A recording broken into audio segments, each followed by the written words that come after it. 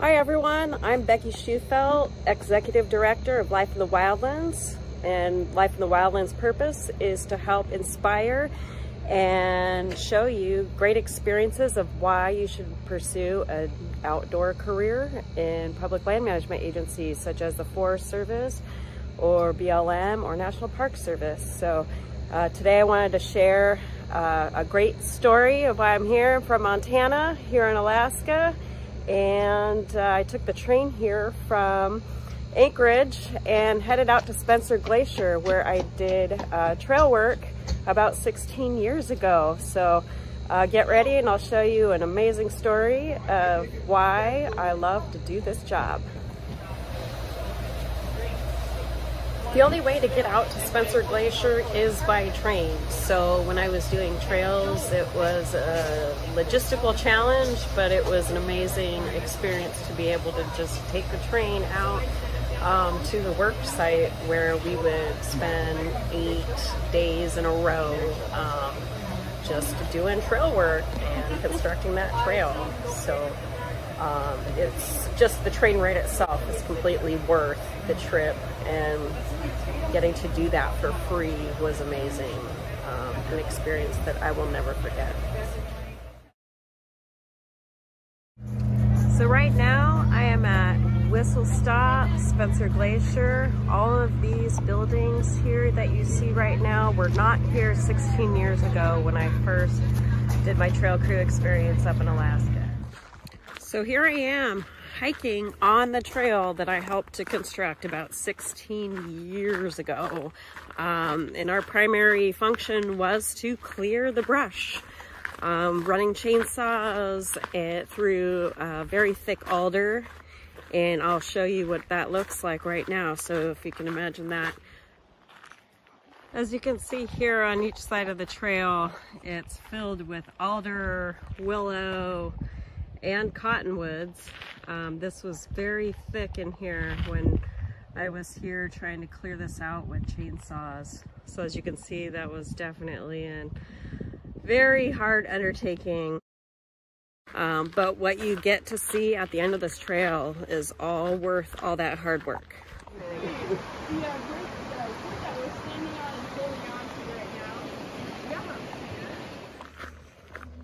And what I love doing about this job so much in trails is that you get to construct or maintain trail that others can appreciate. It gives access to those that would not otherwise be able to access some really cool vista points. So next I'll show you the end of this trail at Spencer Glacier. So I am at Spencer Glacier right now, the viewpoint, um, focal point of the entire Whistle Stop uh, area here in Alaska. This is where the trails that I worked on uh, back in 2006 lead to. Um, and it's just an amazing experience to see this place again because I had somehow lost all my pictures from that time. Um, but here it is.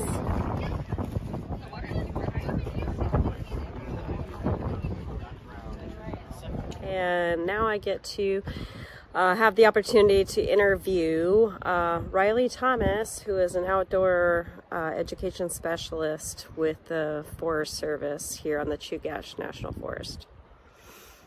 Hi, I'm Riley Thomas, and I'm a forest ranger, a forest interpretive ranger with the Chugach National Forest here in Alaska. I pretty much bring out people or help narrate trips along either to glaciers like this or on boats as well. For example, on Portage Lake in Alaska. I also do Portage Glacier there.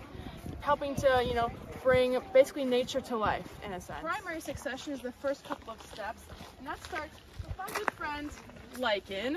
And so those green, orange, and white on here, those are a bunch of different species of lichen Lichen also have physical forms as well, not as flat. They're kind of all over.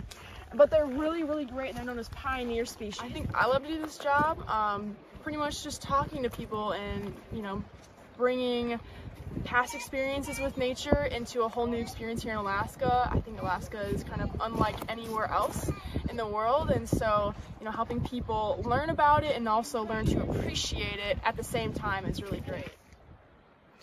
To come back to this area after 16 years of um, being a part of the initial implementation of trail work, um, it's been a, an amazing experience to see what it's become. And just I feel so good that the work that I did is allowing people, uh, all tourists from all over the world come here to be able to experience places like this. Um, if it weren't for that trail crew project, um, these people wouldn't be able to come out here and see the beauty and wonder of Alaska and Spencer Glacier.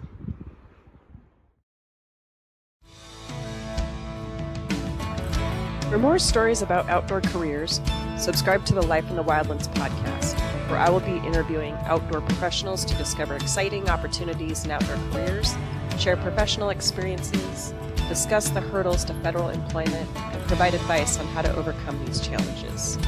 And if you're interested in outdoor jobs and don't know where to start, or if you already are a federal employee with an outdoor career that's struggling to make it to the next level in your career development, Life in the Wildlands can help you on your journey.